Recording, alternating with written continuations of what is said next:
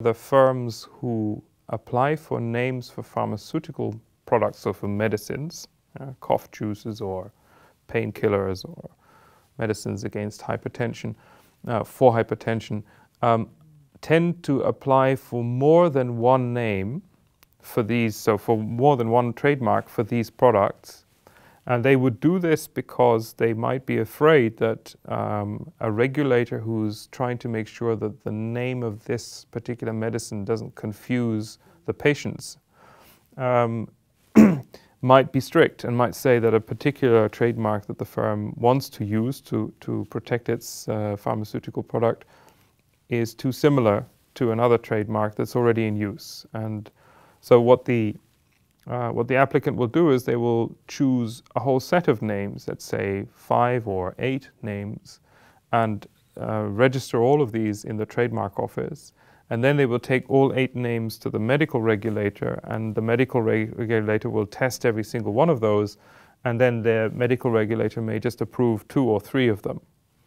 And then the, pharmaceut the pharmaceutical company at the end of all of this will choose one of these names to protect its medicine.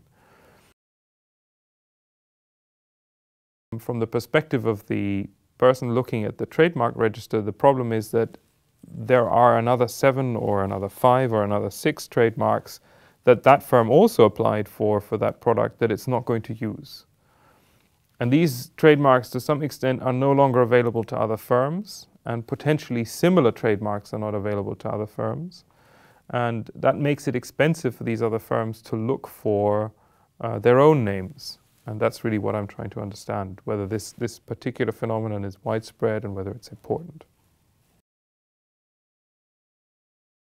If you look at European enlargement as a particular experiment where um, the European Union was enlarged by 10 countries and as a consequence the probability of convincing a medical regulator that a particular name is unproblematic um, becomes much smaller. It's much more difficult to do that in the new regulatory environment.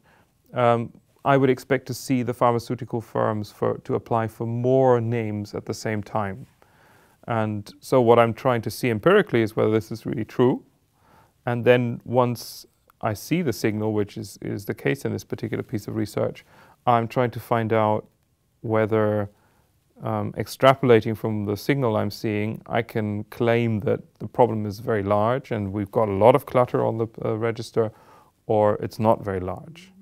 And the last piece of the work is really then to try and figure out, well, what are the costs associated with creating all these surplus marks?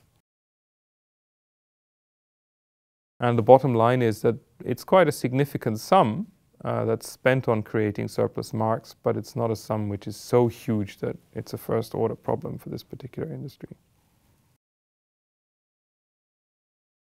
So this particular research, I think, is just going to help to try and understand what procedures uh, the people who run trademark offices should adopt in order to make it most efficient for the users uh, to use this particular type of IP protection. Yeah. So the, the underlying question really is, can we make it cheaper for applicants to find the names that they need to protect their products? This paper is obviously specific to a very uh, um, clear industry context, which is the pharmaceutical industry. Um, but it has motivated me to think that it would be interesting to try and understand the filing behavior of companies that use multiple uh, trademark jurisdictions more widely. So companies that are multinational that would be going to many, many different countries. Because you could argue that they face uh, quite similar problems in the sense that uh, they will often want to have the same name for their product across the world, and the probability that that particular name is going to survive um, the um, the procedures that are active in, in, let's say, Uruguay and Paraguay and Canada and the United States, in Russia, in Asia, you know, um, is not so high. So again, the companies are likely to pursue a strategy where they're going to insure themselves by going for multiple applications. And it would be very interesting to try and understand what that means for all of these trademark systems. So do we have a lot of surplus trademarks that are being created in this way?